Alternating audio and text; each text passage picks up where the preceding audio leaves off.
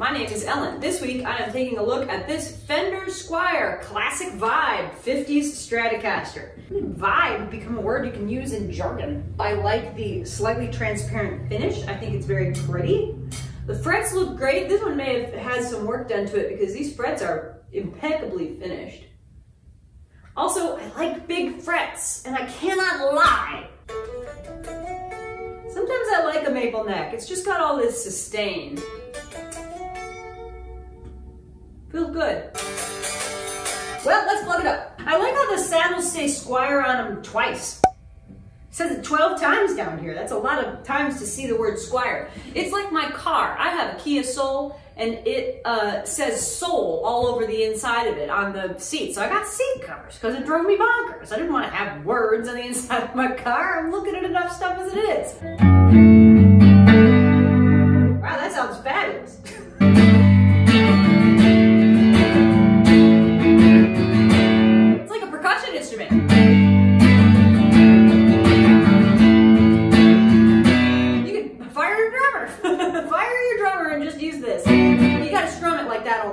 The tricky part.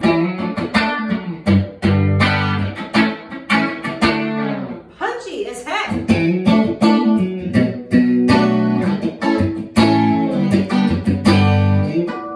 I have an awful hard time believing these are the stock pickups, but I guess they are. Uh, nobody really likes the middle pickup anyway.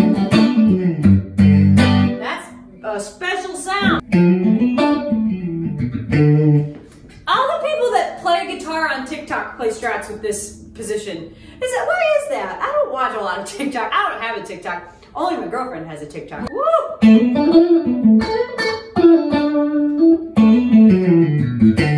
Man, I'm not really a strat guy, but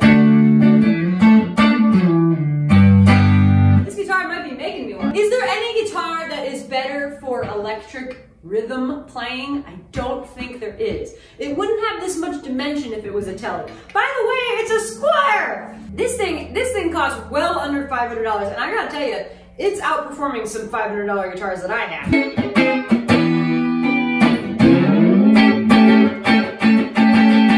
Wow, that is so fun! This guitar plays really good, and it sounds really good. I'm not gonna buy it, uh, not in this economy, but maybe you should. They're very, very good guitar, especially for the price. I give it 5 out of 5 ounces.